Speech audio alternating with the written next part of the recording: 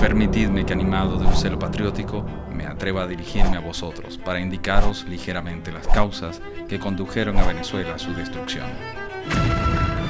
La caída de la Primera República tiene su punto culminante en la capitulación que Miranda firma con el español Monteverde en San Mateo.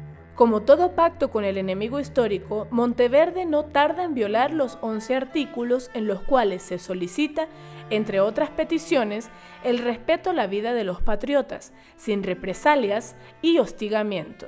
Bolívar desterrado llega a Cartagena donde inicia la redacción de uno de sus más célebres escritos, el Manifiesto de Cartagena. El más consecuente error que cometió Venezuela al presentarse en el teatro político fue, sin contradicción, la fatal adopción que hizo del sistema tolerante, sistema improbado como débil e ineficaz desde entonces por todo el mundo sensato. En el manifiesto, el libertador analiza las causas estructurales de la caída de la Primera República.